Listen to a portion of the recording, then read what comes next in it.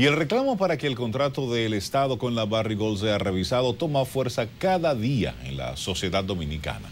Como nos dice Henry Sagramonte, organizaciones populares y el Colegio de Abogados se manifestaron a favor de que el país no salga perjudicado con la explotación minera que realiza la empresa en Cotuí.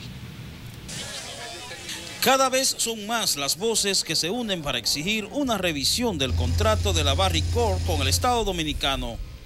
En una manifestación celebrada en la Puerta del Conde, el Frente Amplio apoyó el reclamo de que el Estado deba tener al menos el 51% de las acciones. Es una actividad de protesta creciente y también de opinión pública para obligar al Comité Político del PLD a colocar en la agenda del Congreso Nacional, Senado y Cámara de Diputados la modificación de esa ley y la constitución del gobierno del Estado Dominicano en accionista mayoritario el Frente Amplio planteó que se renegocie el contrato con la empresa canadiense para que el Estado sea el accionista mayoritario de la mina Pueblo Viejo Cotuí, además de exigir la destitución del director de minería, quien defiende el contrato con la compañía multinacional.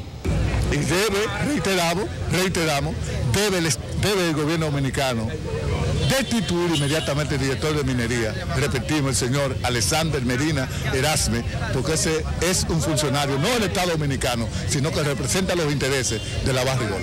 El Colegio de Abogados también se unió al reclamo para que se revise el contrato y adelantó que la próxima semana hará pública una posición formal. No es anular el contrato, no es anularlo, es revisarlo.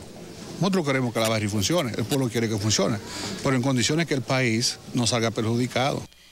El presidente del Colegio de Abogados habló con los periodistas previo a encabezar un acto de reconocimiento al presidente de la Suprema Corte de Justicia, Mariano Germán, al presidente del Senado, Reinaldo Pared Pérez, al presidente de la Cámara de Diputados, Abel Martínez, así como también a juristas y jueces meritorios por sus trayectorias como abogados.